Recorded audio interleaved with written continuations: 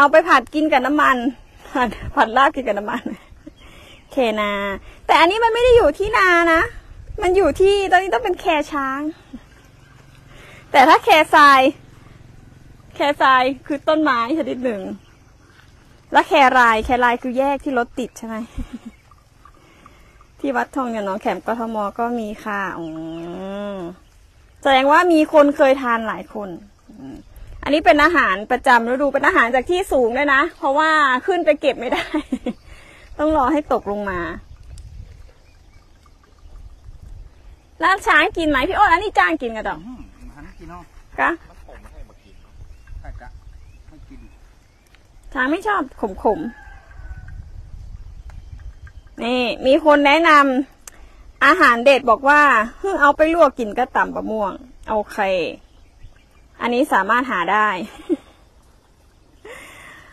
โอนตะกร้าผลไม้ให้น้องช้างในแชทแล้วนะคะ ได้ค่ะ ขอบคุณคุณบีนะคะ เดี๋ยวไปตามไล่ดูให้ในช่องแชทนะคะ วันนี้จะไปดูพระธุหรือเปล่า ยังไม่บอกค่ะยังไม่บอกนะคะ เรามาดูสองสาวกินกันก่อน แค่เธอคุณคาทาบอก สองสาวก็ลวกจิ้มอยู่ใช่ไหม คุณชินจังบอกว่า มี่ก็กินลวกจิ้มอยู่ ลวกไม่อันนั้นไม่ได้ลวกนะคะ อันนั้นจิ้มอย่างเดียว ดึงอย่างเดียว ดึงกินอย่างเดียว น้องมี่และน้องยุ้ยนะคะแสนรู้และแสนยุ้ยของเราสองสาวทำไมตัวกลมยังกลมอยู่เลยได้ข่าวเหมือนว่าคุณหมอบอกว่าให้ ลดน้ำหนักลงนิดนึง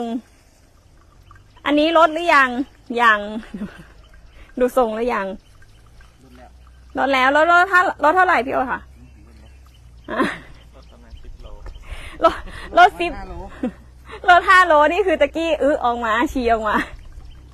แล้วเดี๋ยวกินเข้าเข้าไปใหม่ประมาณร้อยโลเ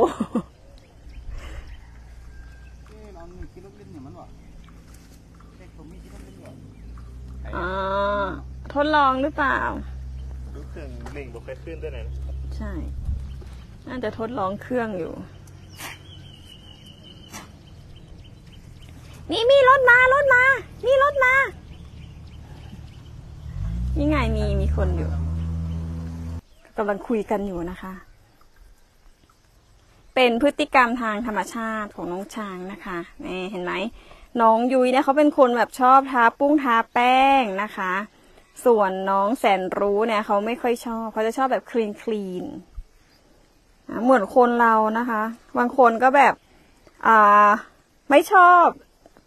ทาแป้งนะบางคนก็ชอบนี่กำลังคุยกันอยู่สงสัยน่าจะตกใจเมื่อกี้ น้องมี่ตัวปลอม